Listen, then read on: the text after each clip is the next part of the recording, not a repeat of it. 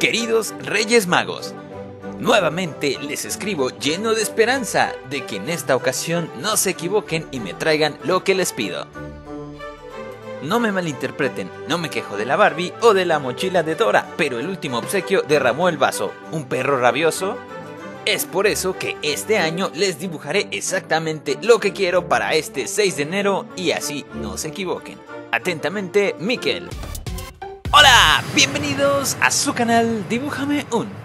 En este video les mostraré el dibujo que realicé para mi carta a los reyes, un Batroid del anime Macros o Robotech. Así es, regresa a la sección Oldies comenzando el año. Honestamente tenía muchas ganas de hacer este dibujo desde hace mucho tiempo, ya que soy un gran fan de Robotech o Macros como se le conoce en otros lugares. Para quien no lo conozca, es un anime de ciencia ficción y mechas creado en 1982, pero también cuenta con otras series, películas, ovas y mangas más recientes con el mismo nombre. Lo más llamativo del anime y que me encanta es que los robots se convierten en aviones, así es, son una especie de Transformers que desarrollan con tecnología alienígena.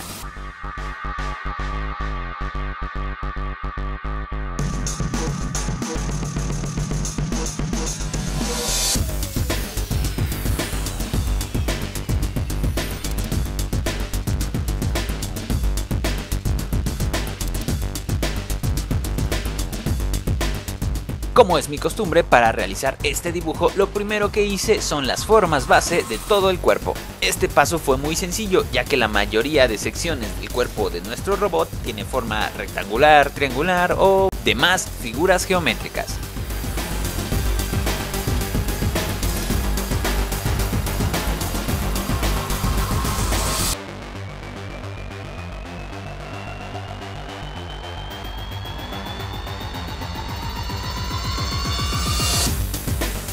Lo que me pareció más complicado de este dibujo o personaje son todos los detalles internos que tiene, ya que tienes que acomodar todas esas líneas y que queden derechitas. También me pareció un poco difícil darle ese toque ochentero al dibujo, la verdad es que con los dibujos recientes pues le das un toque más modernista, ¿no? Pero estos se caracterizan por tener eh, una especie de botas o pies muy anchos, como si fueran pantalones acampanados, lo cual es bastante curioso.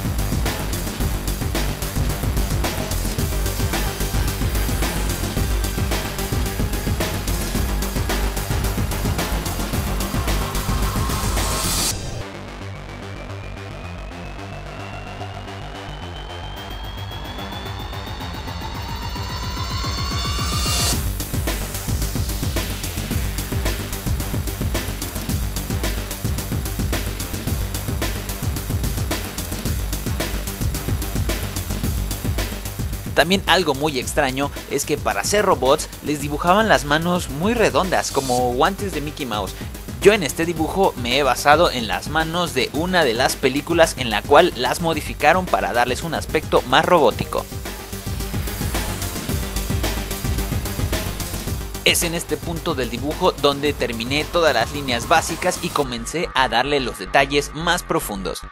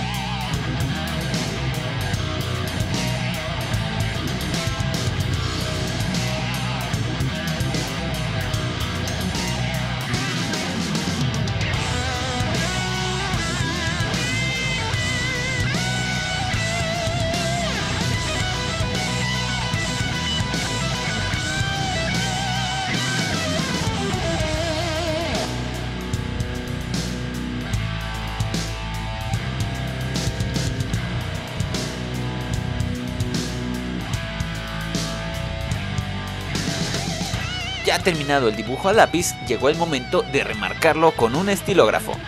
Este fue uno de los pasos más difíciles ya que con el lápiz puedes equivocarte y borrar, pero con el estilógrafo tenía que hacer esas líneas bien derechitas sin equivocarme. Lo que recomendaría para estos casos es que traces primero la línea sobre una hoja con el estilógrafo o si no quieres malgastar tu material, simula trazar la línea sobre tu dibujo y después de practicar varias veces el trazo que vas a hacer, ya puedes intentarlo. Para las marcas o franjas rojas en el cuerpo del robot he utilizado un marcador de punta fina color rojo. Para pintar casi todo el dibujo utilicé tres colores, en las zonas más claras, el color base fue este gris de tono claro y para el sombreado utilicé un gris de tono más oscuro. Como notarás en el video los fui mezclando, primero apliqué gris de tono claro y sobre este el gris oscuro. Para mezclar las zonas donde terminaba el gris oscuro, pasaba allí nuevamente el gris de tono claro para lograr un degradado más natural. Para las áreas negras muy pequeñas como estas franjas de aquí atrás o sus círculos utilicé un estilógrafo.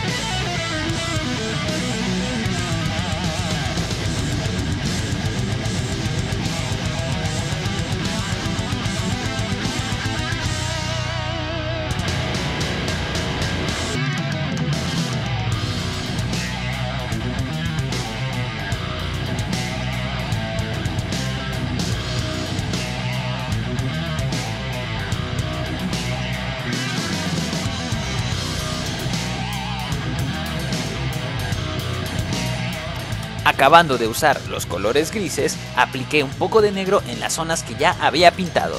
La idea es de darle un toque como de reflejos metálicos como los que solían tener las armaduras de los caballeros del zodiaco hace mucho tiempo.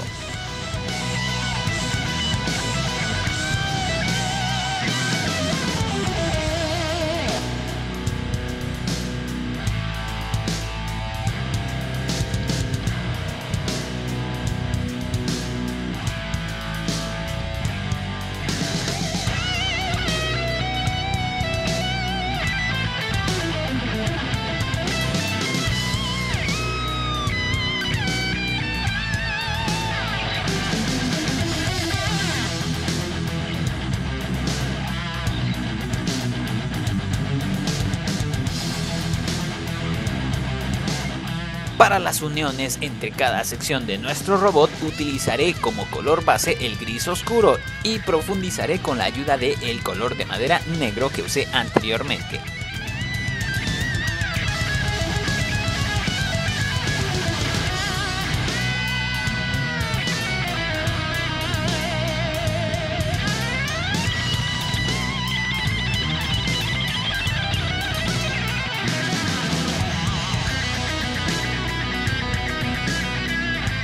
Para el arma que lleva en el brazo utilice los mismos colores que para las uniones entre cada sección de su cuerpo. Pero para darle un tono más oscuro y que ésta resalte utilicé un poco más de negro que gris. Para las franjas o marcas en su cuerpo utilizaré un rojo carmín, esto resaltará bastante nuestro dibujo.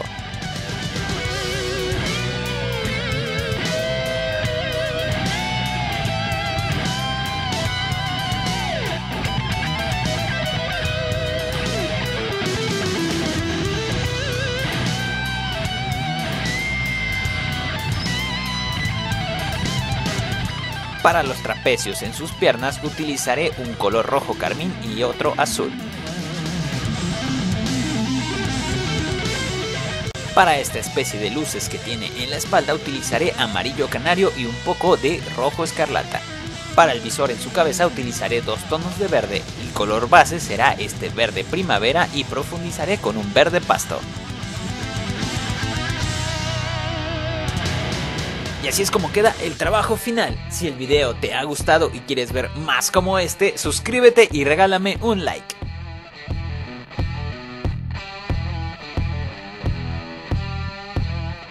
Antes de irme, te invito a que te pases por mis anteriores videos. Yo soy Mikel y me despido diciéndote, practica y lograrás obras de arte y así los Reyes Magos te traerán lo que tú quieres.